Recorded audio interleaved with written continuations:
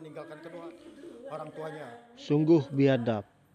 Kelakuan oknum petugas Puskesmas Tanjung Buntung, Kecamatan Bengkong, Kota Batam.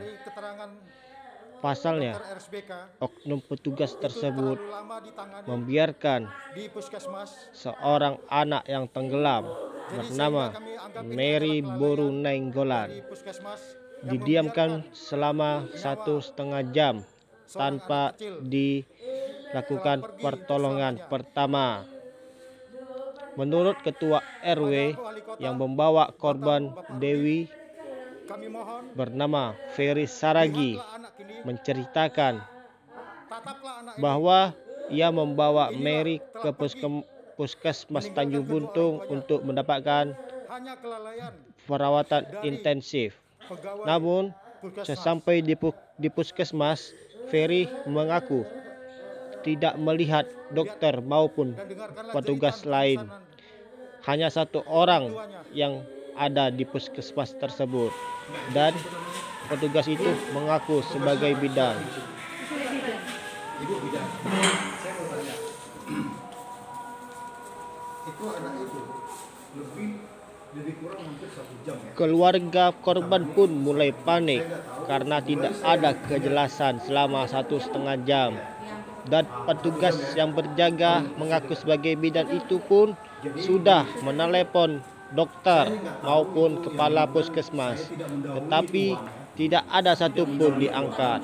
Kemudian ketua RW meminta kunci ambulan ini untuk ini ya, membawa korban ke rumah sakit terdekat. ya. Namun Ini, sayangnya Pak Wali, tidak ada Wali kunci ambulan. kecil. Kuncinya pun dibawa oleh supir ambulan RW 17, yang ditelepon pun tidak ada ini, mengangkat sama sekali. saya menjadi seperti ini. Jadi gini loh, saya mau tanya itu sewaktu ibu tanganin, ada nggak ibu eh, memanggil dokter Saya jaga di sini? Oke, terus dokternya Saya telepon dokter nggak ada yang angkat. Saya telepon bos saya, telepon ambulan nggak ada yang angkat.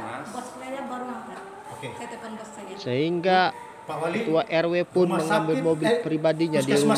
ini Kemudian membawa tidak korban memiliki ke rumah sakit terdekat. Dokter Namun jaga. sayang seribu sayang Jadi sesampai nyawa di rumah sakit. adalah di Kata tangan petugas seorang rumah bidan. sakit, nyawa korban tidak tertolong dan sudah satu bidan. jam Kami lebih tidak tahu meninggal dunia.